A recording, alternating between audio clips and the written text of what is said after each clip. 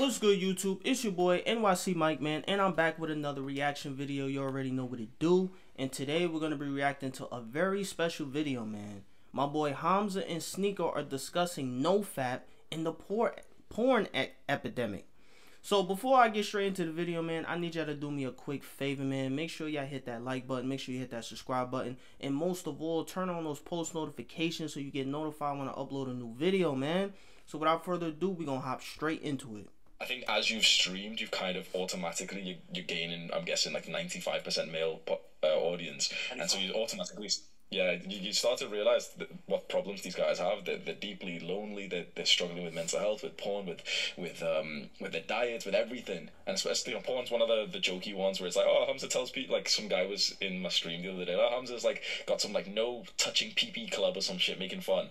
And you know it sounds kind of silly, but it's like bro like the majority, like eleven year olds, have porn addictions these days, man. Yeah, Honestly, when, when you really think about it, it breaks my fucking heart because uh, you're um you're 22 years old, aren't you? Um, no, I'm 23. I'm turning 24 in six hours. Actually, it's my birthday tonight. Oh shit! Happy birthday, man. Thanks. I'm glad that you got unbanned on this day as well. But 23, I'm I'm guessing you you got a smartphone and started watching porn at age like what 13 14 some yeah, like that? yeah uh, 12 or something like that. I remember like no homo i've never talked about this on stream i remember like i, I don't chat tell me if you've done this before. I was at a sleepover with my friend. Okay i'm I, I just paused the video real quick. I just wanted to say this. Yo tell me how one of my subscribers you know they you know they told me that i should link up with sneako because for some of you that may not know sneako lives in new york. You get what i'm saying? Now i don't know what borough he lives in. I live in harlem. You get what i'm saying? I'm from harlem. You already know what the vibes is. You feel me I don't know what boroughs um Sneako lives in, but I would assume that he's in the Bronx, which is basically right there from Harlem. Like you get what I'm saying? It's basically right there. You know, the Harlem and the Bronx is like this. You get what I'm saying?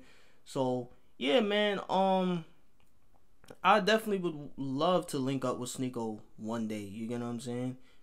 Seems like a really cool dude, and you know, my mindset and his mindset are very similar. You get what I'm saying? I would assume that me and him would agree on a lot of things on a political level, that is. But then, of course, there would be some things we would disagree on as well. You get what I'm saying? But I just wanted to put that out there. I'm a we were like 12 and we all like watched porn together um, and then like and then individually we'd go into the closet and jerk off and stuff like that i remember that was our sleepover that was the first time i watched porn was like i was 12 i remember two girls one cup came out and um, oh no, I remember that. Like what? That oh was, actually, man, that was the first prawn I saw. I two remember girls that. Up seeing like bitches like throw up poop and back and forth at you. Uh. I've being sick to my stomach for weeks. Um, it's really bad for you. And I think at first um, in college, like I had a, a problem.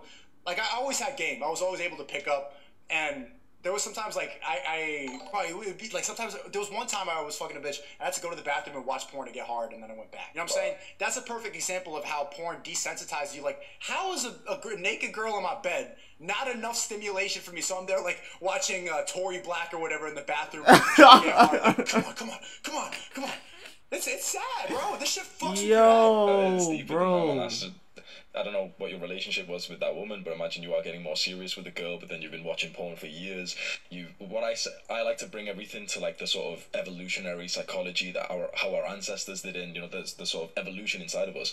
What what it's doing when we watch porn and we jack off, it's like our monkey brain and our entire body thinks, okay, you are, you are at the height of man. You've just experienced like sex and ejaculation and impregnated 50 different women with different hair colors everything fantastic you like you're the man well okay rest be tired. Eat some junk food. Like, you're the man. You just spread your seed. You, you don't need to work hard anymore. We have a generation of men who are legit. Like I don't know if like the semen retention kind of nofap community is a bit cringe and you know they're a bit too serious with this. Oh, day ninety, I'll start like, it is culty. It is culty. I, I wouldn't join a community, and I think um, I think the difference between you and me is I, I can foster it more with comedy. Like I'm able to like point out. I think it's a good wake up call uh, for a lot of people. Like you know, people who doing the jaw stretches and stuff like that. It's like okay, it's all right. Like you know, what I'm saying like it's. I guess it's good, but it's.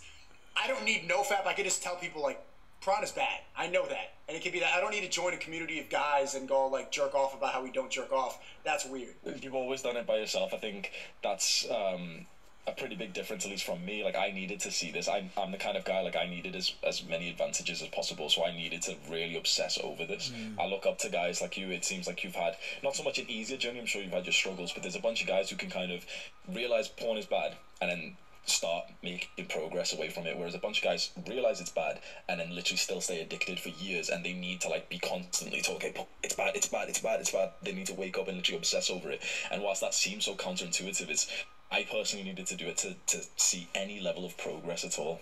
Yeah, so I'm gonna just end the video off on that point, man. I'm gonna just get my final thoughts on it. Well, y'all know how I feel about this. Um, I agree with Sneako and Hamza on this. I feel like the um the whole prawn, you know, situation it's very detrimental to a lot of young men's lives.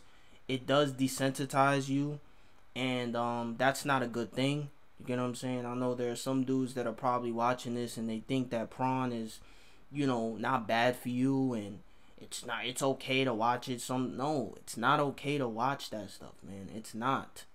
It's not good for your mental state. It's not man. You clearly did y'all not just hear what Sneako just said?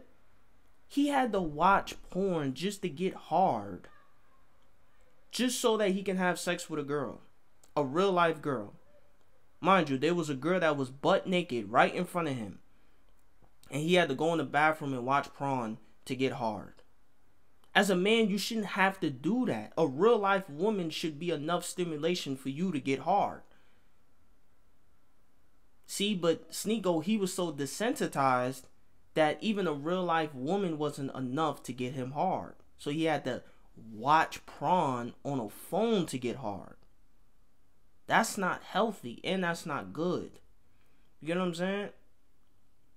So this is why I try to, you know, tell a lot of young guys, man, you really need to just focus on yourself, man. Stop watching that stuff, man. It's not good for your health. You get what I'm saying? And yeah, man, it it it it, it really it does more than just desensitize you to that stuff. It it also has a lot of other negative effects as well. And in my personal opinion, I think it should be banned. I think it shouldn't exist at all. Um, but you know, some people may disagree with me on that. I don't really care, but I think that it should be banned, and that's just point blank, period. Because I know the detrimental effects that it can have on someone. You get what I'm saying?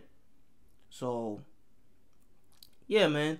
But I hope any guys that's watching this video, man, I hope y'all learned something from this. I hope this motivates y'all. If y'all are addicted to prawn, I just want you to know that you are not alone. You get what I'm saying? There are a lot of guys out here that are addicted to it.